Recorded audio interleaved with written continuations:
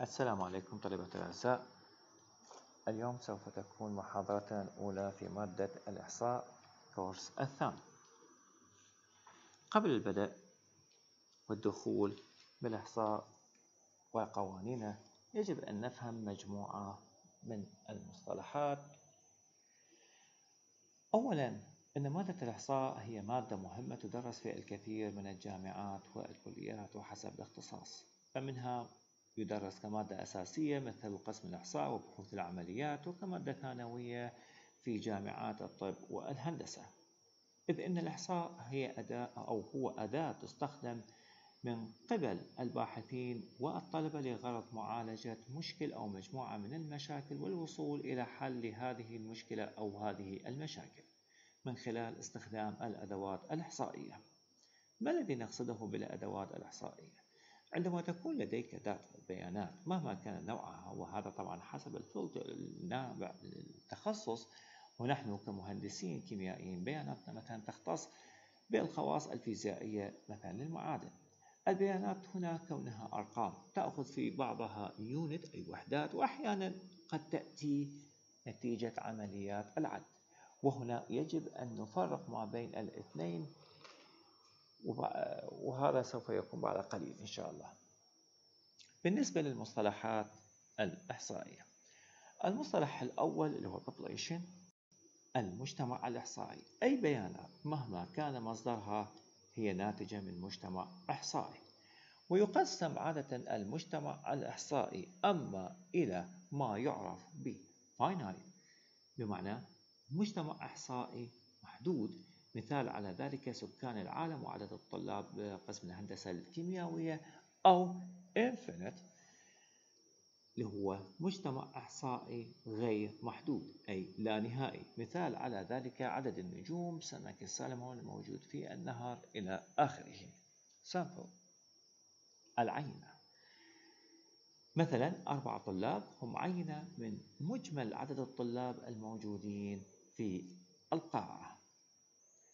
أيضا عندنا random sample اللي هو العينة العشوائية. مجرد أن تأخذ عدد من الطلاب بشكل غير مبرمج وبشكل عشوائي وتستخرج معدل درجات العام الماضي هذا هو ما يعرف به العينة العشوائية.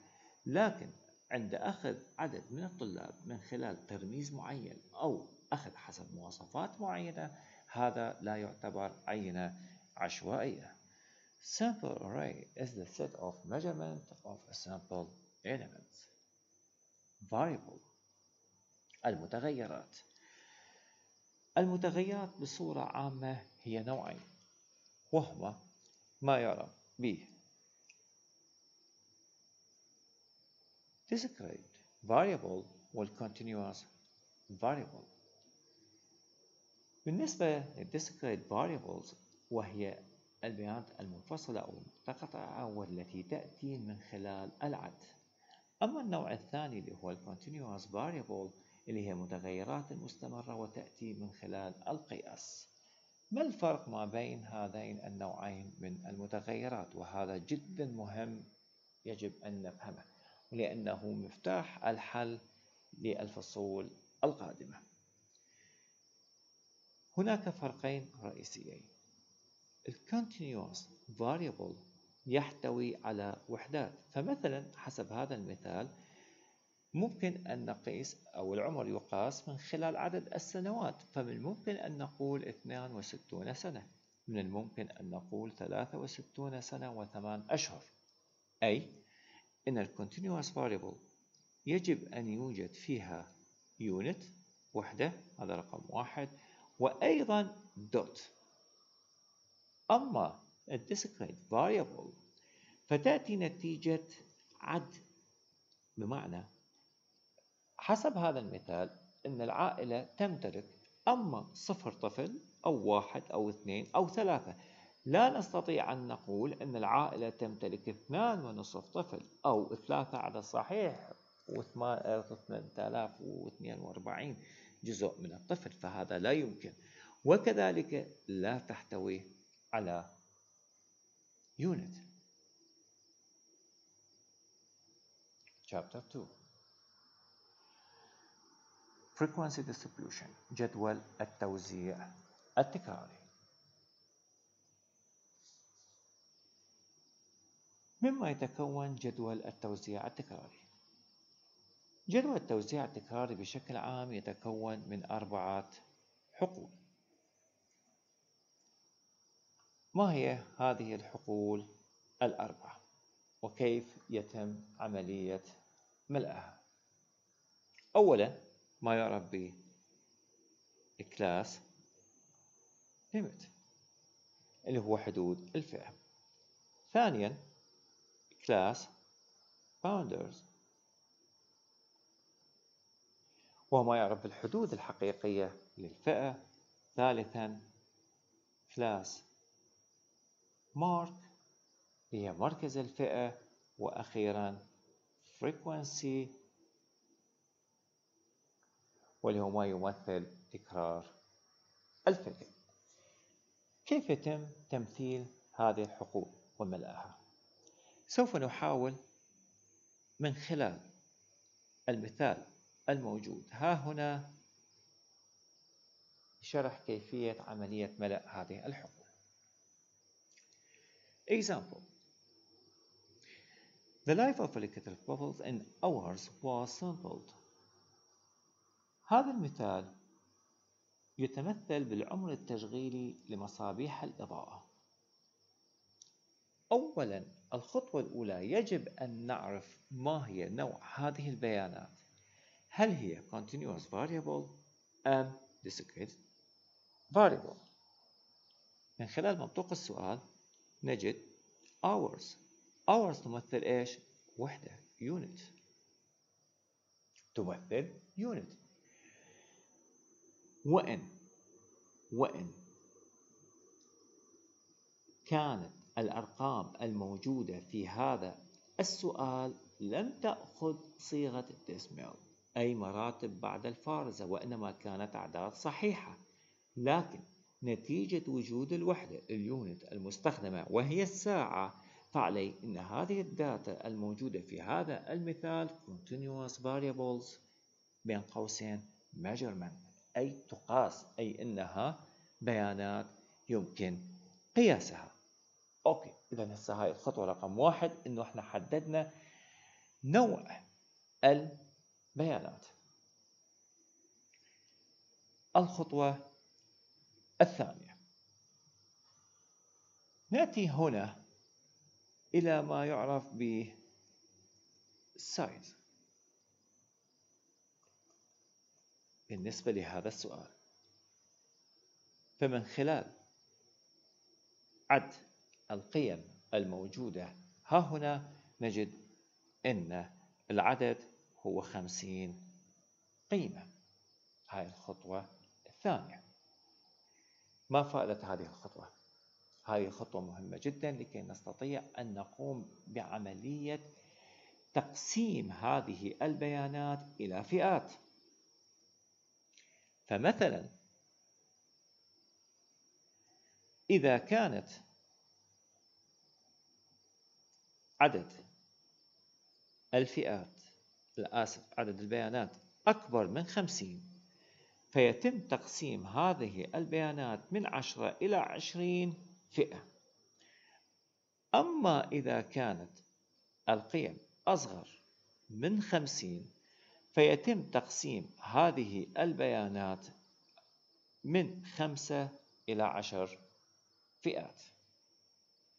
وعليه وحسب المثال الذي تكلمنا عنه نجد أن عددها هو خمسين فبالتالي سوف تقسم هذه القيم إلى من خمسة إلى عشر فئات. الخطوة الثانية.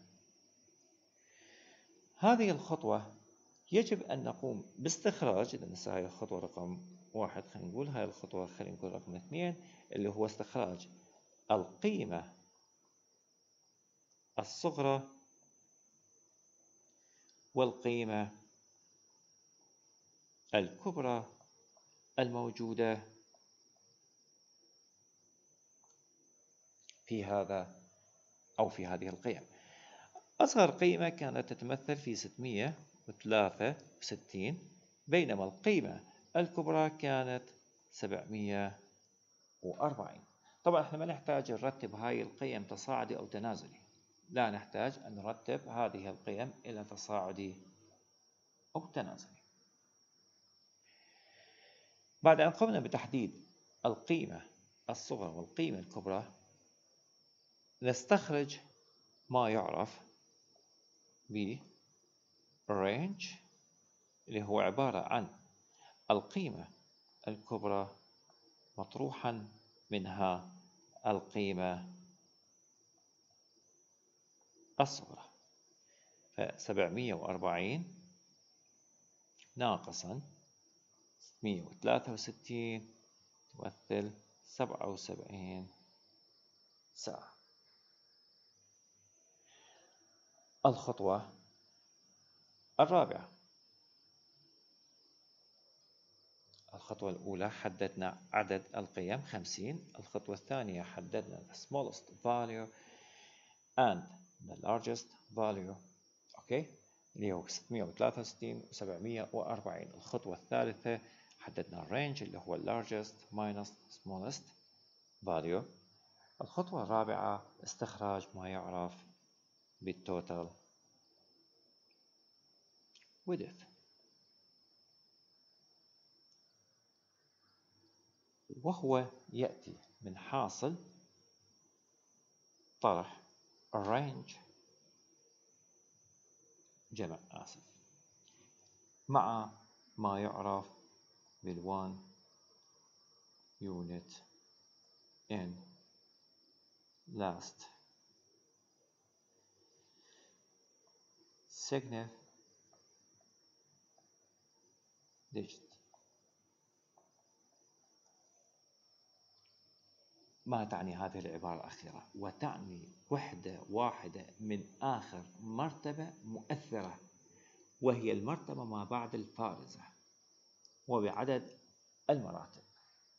سوف نحاول أن نفهم ما معنى هذا الكلام. إذا one unit. In last significant digit. تعني وحدة واحدة من آخر مرتبة مؤثرة وهي ما بعد الفارزة وبعدد المراتب. ممكن أن نوضح هذا الكلام. بمعنى لنفترض لدينا القيم التالية 2 عدد صحيح وثلاثة سبعة عدد صحيح واثنين خمسة عدد صحيح وأربعة إلى آخره. هنا لنفترض لدينا ثلاثة عدد صحيح. سبعة خمسة. هنا نفترض اثنين عدد صحيح تسعة واحد. هنا ثلاثة عدد صحيح خمسة.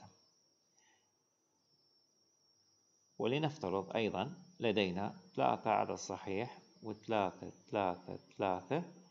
مثلا سبعة عدد صحيح اثنين خمسة صفر. وعندنا ثلاثة عدد صحيح خمسة صفر واحد.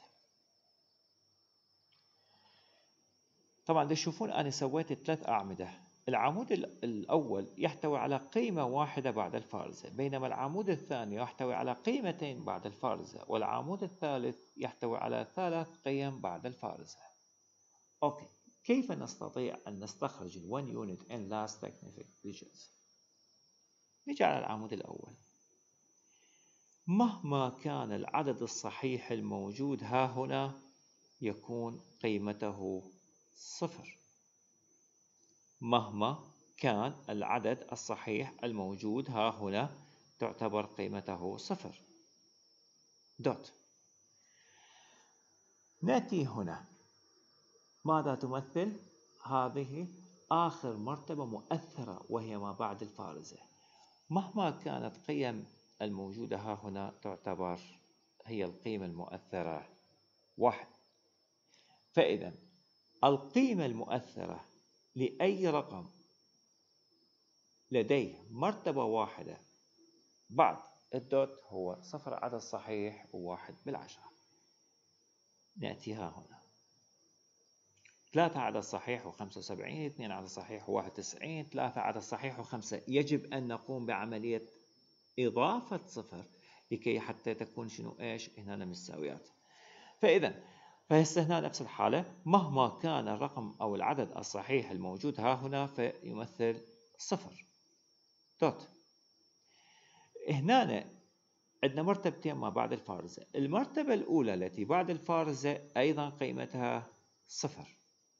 أما المرتبة الأخيرة فراح تكون قيمتها مثل ما قلنا أصغر قيمة مؤثرة في أي عدد اللي هو شقد واحد. نأتي إلى الحالة الثالثة. أيضا مهما كان العدد الصحيح تكون قيمتها صفر مهما كان العدد الموجود ما بعد الفارزة يعني العدد الأول ما بعد الفارزة فأيضا يكون قيمته صفر. أيضا العدد الثاني ما بعد الفارزة أيضا قيمته صفر وأصغر قيمة مؤثرة هنا هي واحد. حتى إذا هنا مهما كان إذا يعني كأنه خلينا نحكي هيك إن كانت هناك مرتبة واحدة بعد الفارزة فإذا القيمة المؤثرة اللي هي إحنا نسميها ال 1 unit n last significant digits فهي صفر عدد صحيح واحد. وإذا كان مرتبتين فهو صفر عدد صحيح وواحد عشرة وهنا إذا كان شقد صفر عدد صحيح وصفر صفر وواحد حسب المثال الموجود لدينا. نعود إلى المثال. نجد أن الأرقام الموجودة ها هنا كلها أرقام صحيحة. فإذا كيف نستطيع أن نستخرج آخر مرتبة مؤثرة؟ هنا في مثل هكذا أمثلة. فإذا آخر مرتبة مؤثرة هي عبارة عن واحد عدد صحيح وتجمع مع ال range اللي هو كان عبارة عن سبعة وسبعين فيكون حاصل الجمع سبعة ثمانية وسبعون.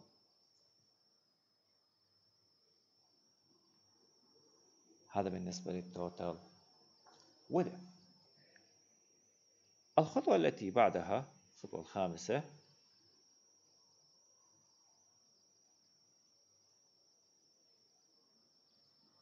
نستخرج ما يعرف بالكلاس. width نستخرج من خلال القانون التالي اللي هو total. width مقسوما على number of class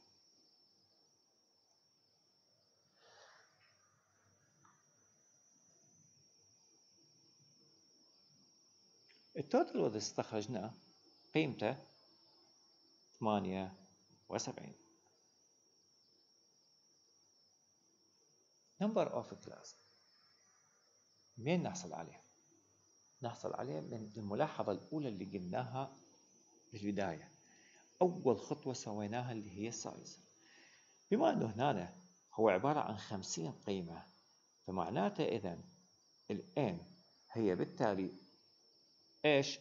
أصغر أو يساوي لنا خمسين. فإذا معناته عدد الفئات اللي راح نشتغل على أساسها هي من خمسة إلى عشر فئات. فإذا القيمة الأولى للفئة راح تبدي من من خمسة. حنعيد الحكاية في البداية الخطوة رقم واحد ومن خلال الداتا الموجودة ها هنا كان العدد خمسين رقم. فبالتالي نطبق القانون التالي. بما أنه القيم الموجودة أصغر من خمسين فإن عدد الفئات يكون من خمسة إلى عشرة فإذا الفئة الأولى اللي راح نشتغل على أساسها هي خمسة. فلهذا وضعنا خمسة. نقسم 78 تقسيم خمسة راح يطلع لنا 15 عدد صحيح وستة بالعشرة. طبعا الرقم اللي استخرجناه هسه يعتبر خاطئ. ليش؟ هنا ننتبه هسه. النتيجة خاطئة. وجود مرتبة بعد الفارزة. أوكي حتقول مو هي أرقام measurement لا على كيفك هنا غير حكي أحنا ما دام هو عدد صحيح لازم يطلع عدد صحيح. ما دام هو عدد بعد يعني عدد صحيح بعد مرتبة واحدة يجب أن تكون جميع النتائج الصحيحة الصحيحة التي نأخذها في الحل هي عبارة عن عدد صحيح بعده مرتبة واحدة. إن كانت جميع القيم الموجودة في كبيانات هي عبارة عن مرتبتين أو ثلاث مراتب أو خمس مراتب بعد الفارزة يجب أن تكون كل القيم المستخرجة هي مرتبتين أو ثلاثة أو خمسة. أوكي؟ فبالتالي إذا ترفض هذه النتيجة. أوكي؟ رفضنا هذه النتيجة. شو حنسوي؟ إذا نرجع من جديد نستخرج ال class width حنقول أوكي؟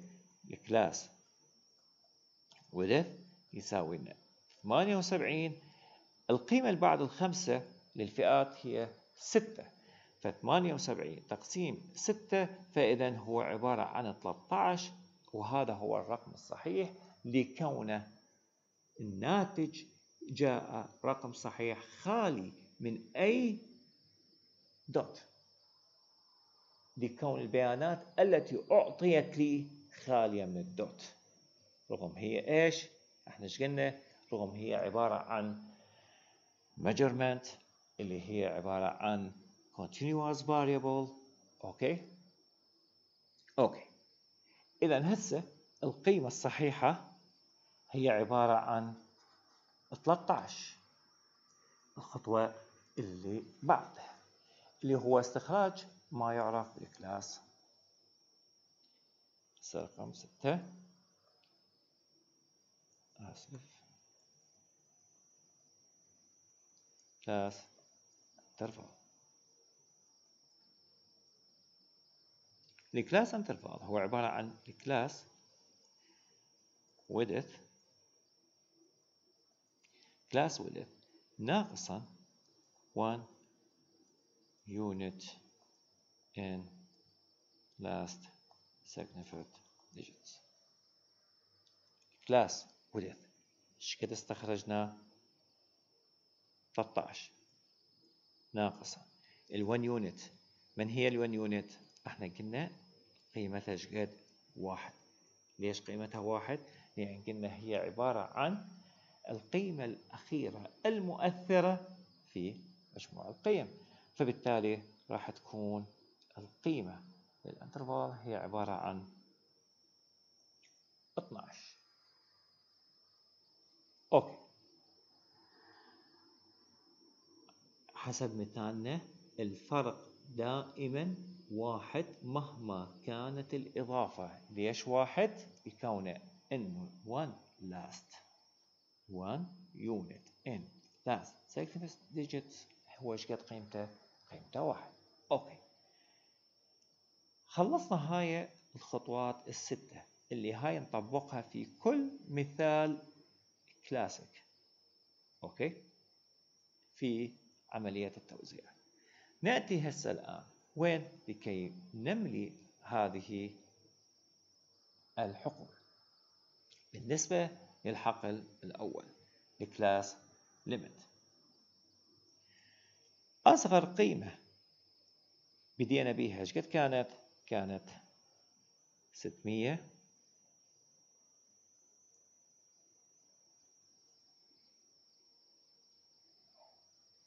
ستمية وثلاثة وستين.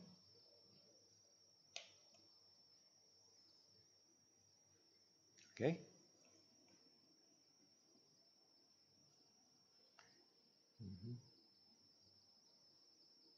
ستمية وثلاثة